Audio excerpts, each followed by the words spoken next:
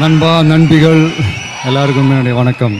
So guys இந்த news வந்து social மீடியாவில் ஃபர்ஸ்ட் நான் பார்த்தோன்னே எனக்கு வந்து அந்த அளவுக்கு சந்தோஷமாக இருந்துச்சு. ஸோ அதை பற்றி இந்த வீடியோவில் டீட்டெயில்டாக பேசலாம்.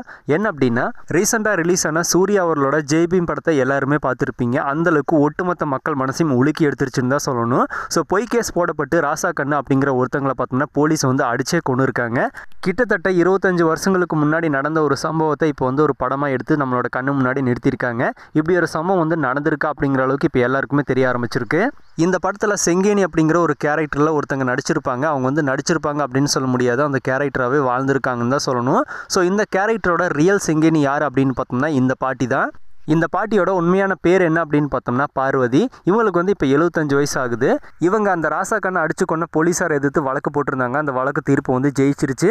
ஸோ ஆனாலும் பார்த்தோம்னா இப்போ வரைக்கும் இவங்க வந்து ரொம்பவே எந்த அளவுக்கு ஏழ்மையான வாழ்க்கையை வாழ்ந்துட்டு இருக்காங்க அப்படிங்கிறது இவங்களோட வீடு வாசல் பார்க்கும்போது நம்மளுக்கு ரொம்பவே நல்லா தெரியுது.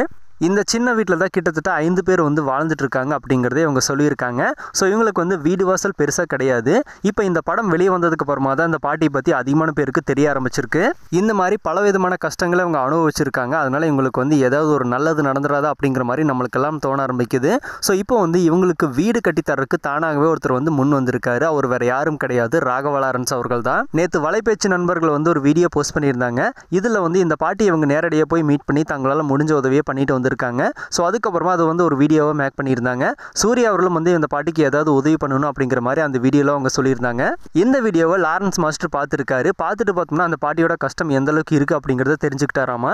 ஸோ இதை பார்த்ததுக்கு அப்புறமா அந்த பாட்டிக்கு நம்ம வந்து உதவி பண்ணணும் அப்படின்றக்காகவே தானாகவே முன் வந்து அந்த பாட்டிக்கு வந்து வீடு கட்டி தரக்கு முடிவு பண்ணியிருக்காராமா. இதை லாரன்ஸ் அவர்களே வந்து ட்விட்டரில் ஷேர் பண்ணியிருக்காரு. கூடி சீக்கிரமாக அந்த ஒரு நல்ல விஷயம் வந்து அந்த பாட்டிக்கு நடக்க போகுது. ஸோ இதை வந்து எனக்கு தெரியப்படுத்தின வலைபேச்சு நண்பர்களுக்கும் சரி இதை வந்து ஒரு படம் எடுத்த சூர்யா அவர்களுக்கும் ஜோதி அவர்களுக்கும் நன்றி. அப்படிங்கிறதும் ஷேர் பண்ணியிருக்காரு. ஆல்ரெடி லாரன்ஸ் அவர்கள் பார்த்தோம்னா இந்த மாதிரியான சமூக உதவிகளை நிறைய பேருக்கு பண்ணிட்டு தான் வர்றாரு. முக்கியமாக ஹேண்டிகேப்ஸாக இருக்கிற எல்லாருக்கும் உதவிகள் பண்ணிட்டு வர்றாரு. இன்னொரு விஷயம் என்ன அப்படின்னா லாரன்ஸ் மாஸ்டர் பொறுத்த வரைக்குமே தானாகவே முன் வந்ததை உதவிகள் பண்ணுவார். உதவி தேவைப்பட்டுச்சு அப்படின்னா கண்டிப்பாக அந்த இடத்துல அவர் இருப்பார் அப்படின்றத நம்ம நிறைய இடத்துல பார்த்துருப்போம். இந்த விஷயத்தை பார்க்கும்போது எனக்கு அந்த அளவுக்கு சந்தோஷமாக இருந்துச்சு.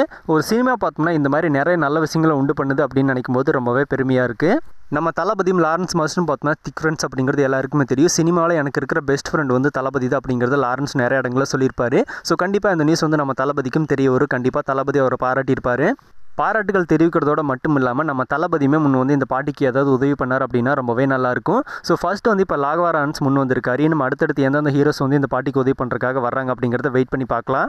எஸ் தளபதி ஃபேனாக ராகவா லாரன்ஸ் பண்ணுற இந்த ஒரு உதவிக்கு நம்மளோட பாராட்டுக்களை நம்ம தெரிவிச்சுக்கலாம். வீடு கட்டி தர்ற அப்படிங்கிற பெரிய பொறுப்பை ராகவா லாரன்ஸ் இப்போ ஏற்றுக்கிட்டாரு ஸோ இந்த ஒரு பாட்டிக்கு நடக்க போகிற இந்த ஒரு நல்ல விஷயத்தை பற்றியும் லாரன்ஸ் அவர்கள் பண்ணுற இந்த ஒரு உதவி பற்றியும் எஸ் தளபதி ஃபேனாக உங்களோட கருத்துக்களை கமெண்ட்டில் பதிவு பண்ணுங்கள் இன்னும் புதுசாக தளபதி ஃபேன்ஸ் யாராவது நம்ம சேனலில் பார்த்துட்டு இருந்தீங்கன்னா மறக்காமல் சேனலை சப்ஸ்கிரைப் பண்ணிக்கோங்க. தளபதி பற்றின அப்டேட்ஸ் மட்டும் தான் நம்ம சேனலில் தொடர்ந்து வரும்.